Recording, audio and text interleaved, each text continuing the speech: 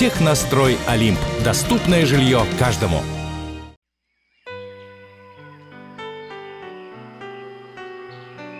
Впервые на татами в школе единоборств «Лидер» прошло открытое первенство района среди начинающих каратистов. Всего 180 ребят из Клина, Зеленограда и Конакова приехали побороться за титул в своих категориях. Подробности соревнований смотрите далее. Они только делают первые шаги в большом спорте. Кимоно надели всего три месяца назад. И сегодня, пожалуй, самый важный день для начала их спортивной карьеры. Первые соревнования. Я, конечно же, очень рада, что каждый из вас сегодня сможет продемонстрировать уже полученные навыки. Это ваше первое соревнование, но я уверена, что в вашей жизни их будет настолько много, насколько у этих мальчишек, которые за моей спиной, и девчонок тоже.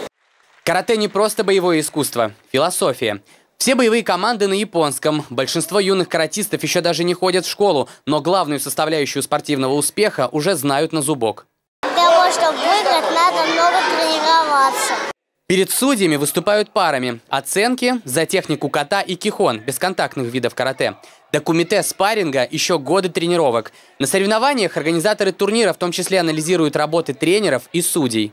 Все судьи молодые, и все э, судьи – это спортсмены, которые выступают на данный момент. Все мастера спорта, кандидаты мастера спорта, все призеры, чемпионы первенства и чемпионатов России. Самый волнительный момент – оглашение результатов. Новый выброс адреналина для победителей. Первая медаль и первый шаг на пьедестал. Но главное в том, что все участники смогли побороть в себе страх выступления перед большим залом. Выступать очень сложно.